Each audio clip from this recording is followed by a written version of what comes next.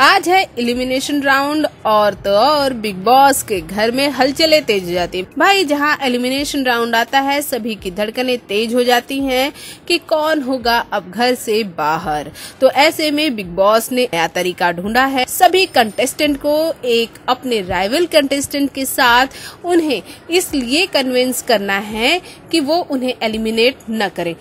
यहाँ पर हम आपको बता दें कि सभी एक दूसरे को कन्विंस कर रहे थे कि भाई हमें एलिमिनेट न किया जाए, हमें बचा लिया जाए। और ऐसे में खेसारी लाल यादव से हिमांशी खुराना, जो पंजाब की बहुत ही बड़ी एक्ट्रेस हैं, बहुत सारे एल्बमों में आपने उन्हें देखा होगा। हिमांशी खुराना उनसे रिक्वेस्ट करती हैं कि उन्हें एलिमिनेट वो न करें। लेकिन इसके लिए खेसारी लाल यादव बोलते हैं कि मैं आपको एलिमिनेट क्यों न करूँ? तो हिमांशी खुराना कहती हैं, क्योंकि मैं आपकी बहुत बड़ी फ़ैन हूँ, इसलिए आप मुझे एलिमिनेट न करें।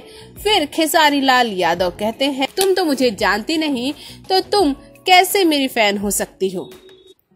फिर जब खेसारी लाल यादव की बारी आती है कि वो उन्हें कन्विंस करें तो फिर वो बोलते हैं कि मैं ये शो बिहार के लिए जीतना चाहता हूँ और आप मुझे एलिमिनेट न करें। यानी आप मुझे वोट न करें इसके लिए फिर हिमांशी खुराना कहती हैं कि क्यों आप डर रहे हैं? अगर आप स्टार हैं और बिहार की जनता पर आपको यकीन है, क्या आपको अपनी बिहार के फैंस पर इतना भी यकीन नहीं है कि वो आपको बचा लेंगे एलिमिनेशन राउंड में? अगर आपको वो बचा लेते हैं तो अच्छी बात है। फिर आप क्यों इतना डर रहे हैं कि आप एलिमिनेट हो जाएँगे? क्योंकि आप वहाँ के बहुत बड़े सुपरस्टार हैं तो आपको तो वहाँ की जनता वोट करेगी ही। फिर खेसारी लाल यादव ये कहते हैं कि बिग बॉस का शो जीतना उनके लिए कितना ज़रूरी है। वो बिहार की जनता को प्राउड कराना चाहते हैं।